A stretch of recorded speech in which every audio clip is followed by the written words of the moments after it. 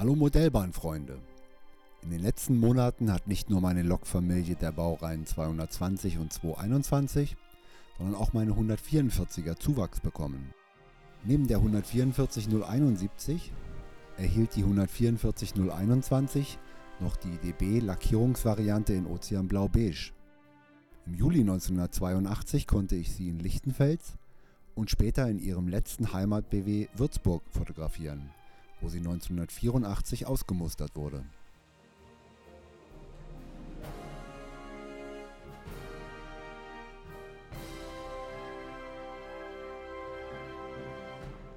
Ebenfalls von Minitrix und neu auf meiner Anlage ist ein Modell der 144-185, die hier einen Nahverkehrszug aus vierachsigen Umbauwagen zieht.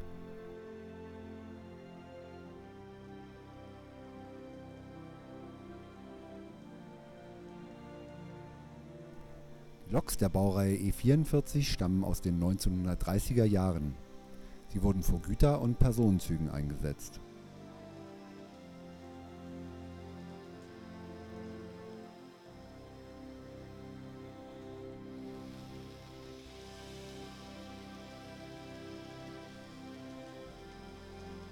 Der Zug erreicht meinen Bahnhof Mittelstadt.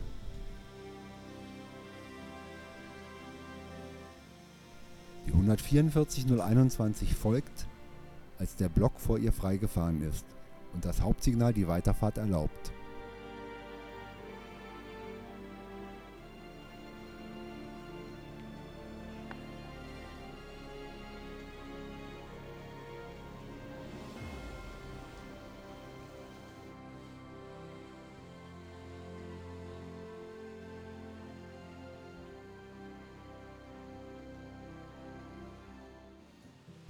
Gleichen Farbkleid zeigt sich Fleischmanns 194 178 mit ihrem Kesselwagenzug.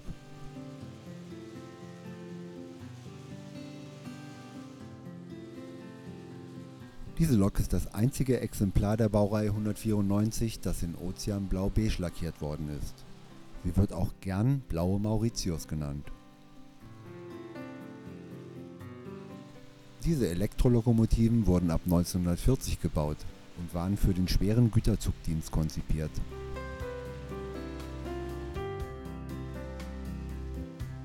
Im Jahr 1988 endete der Einsatz der Baureihe 194 bei der Deutschen Bundesbahn.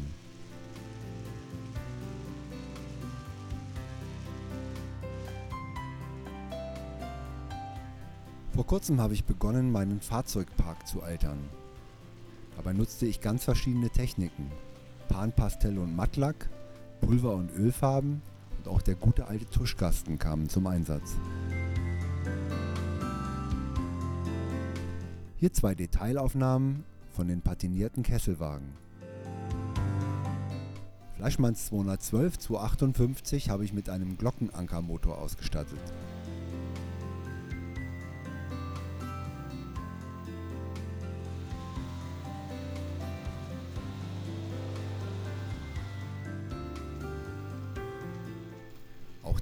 Die gedeckten Wagen zeigen nun Spuren des harten Bahnalltags.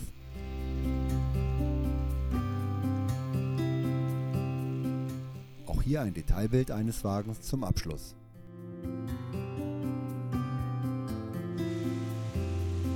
Die Loks der Baureihen 220 und 221 habe ich ins Herz geschlossen. Die rote 221-104 zieht Wagen aus der Montanbranche. Schienen auf einem Flachwagen, Halbzeug auf Samswagen, Schims und Saims haben Koll geladen und Rohre befinden sich auf K-Wagen. Die Ozeanblau-Beige 221-137 zieht einen Schwung FHL-Wagen von Minitrix, die eine deutliche Alterung bekommen haben.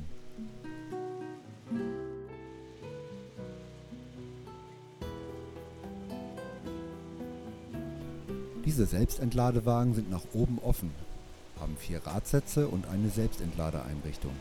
Die Entladung erfolgt schlagartig.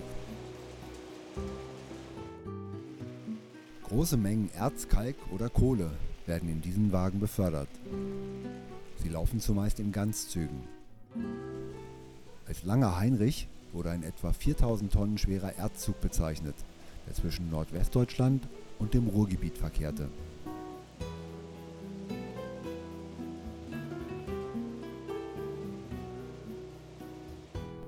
Links der Originalwagen, rechts gealtert, eingefüllt habe ich Echtkohle. Fleischmanns 141 237 hatte einen Motorschaden. Nun läuft sie wieder und hat eine Schwester bekommen, die 141 115 vom gleichen Hersteller. Die 141er wurden ab 1956 an die DB ausgeliefert. Sie war die leichteste Lok innerhalb des Konzepts der elektrischen Einheitslokomotiven. Über 450 Exemplare dieser für den Wendezugdienst ausgestatteten Loks wurden beschafft. Sie waren fast überall in der Bundesrepublik im Einsatz. 151 040 komplettiert meinen Bestand an schweren Güterzuglokomotiven. Sie zieht hier einen Schrottganzzug. Diese EA-Wagen habe ich ebenfalls gealtert und sie mit selbstgebasteltem Schrott ausgestattet.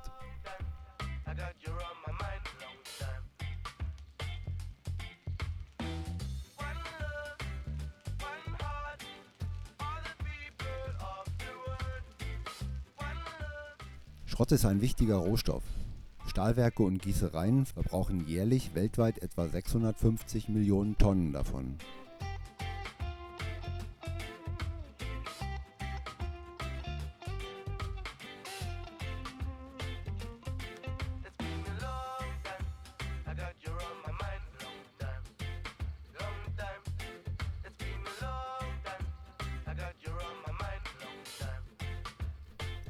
Auch hier einige Großaufnahmen der gealterten Wagen.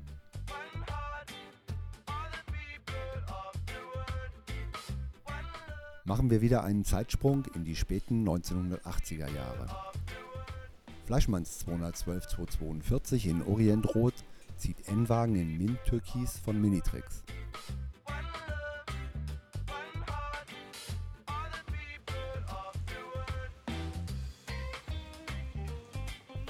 Deutsche Bundesbahn stellte Ende 1986 ihr neues Farbkonzept vor, das mit einheitlicher Lackierung in vier verschiedenen Produktfarben die Zuggattungen erklärten. Der Intercity trug Orientrot, der Interregio Fernblau, der Nahverkehr Mint Türkis und die S-Bahn Lachsorange. Allzu lange Bestand hatte dieses Farbkonzept allerdings nicht.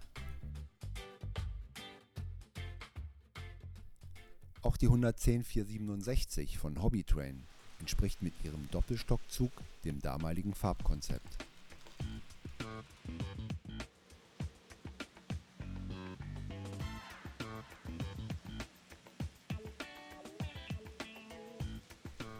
Weil in diesem verspäteten Zug Reisende sitzen, die in den Intercity umsteigen wollen, erhält der Regionalzug ausnahmsweise einmal Vorrang vor dem Fernzug.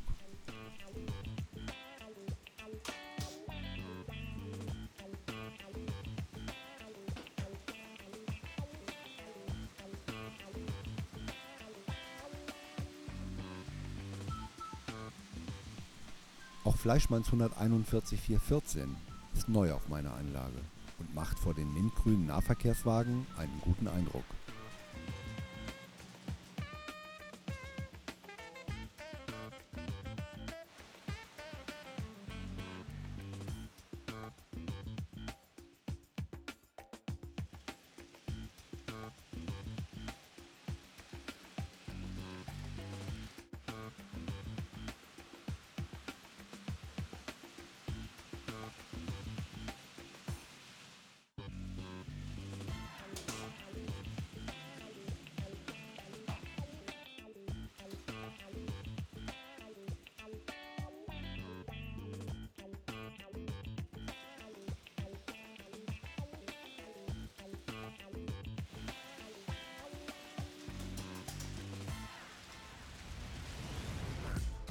Der Interregio darf in dieser Epoche nicht fehlen.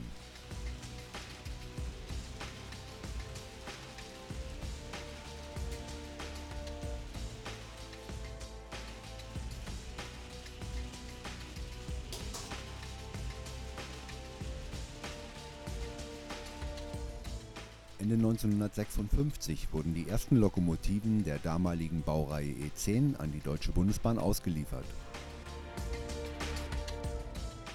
Die ab 1968 als Baureihe 110 geführten Lokomotiven waren lange Jahre die wichtigste Lokomotivbaureihe im bundesdeutschen Schnellzugverkehr. Nach der Bahnreform wurden die Lokomotiven vor allem im Nahverkehr eingesetzt. 216 135 ist von Brava und nun auch auf meiner Anlage unterwegs.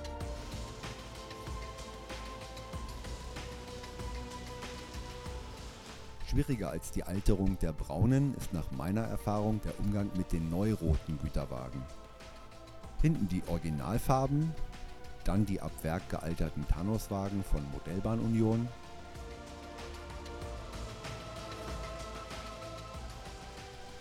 und hier schließlich die von mir bearbeiteten Wagen. Ich nehme dabei an, dass diese TD-Wagen mit Kali beladen sind. Deshalb habe ich mich mehr auf das Ausbleichen der Wagen konzentriert.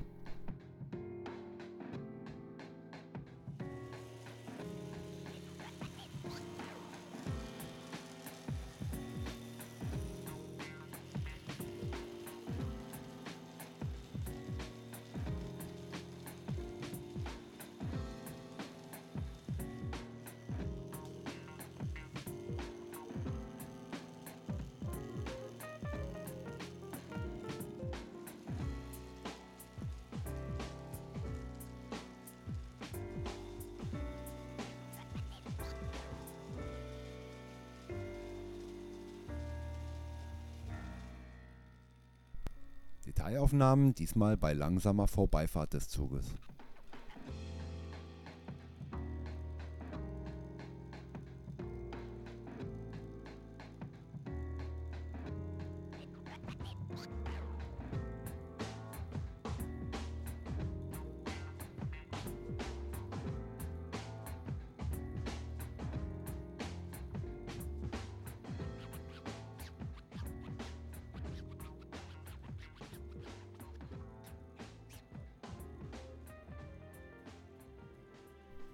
Auch wenn mir noch ein Wagen fehlt, den ICE 2, zeige ich schon mal.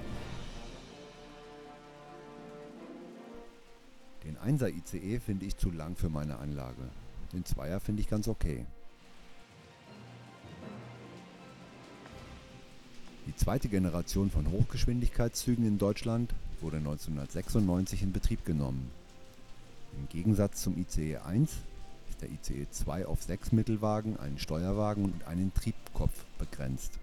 Dieses Zugkonzept erlaubt die Kupplung zweier Züge zu einem Doppelzug.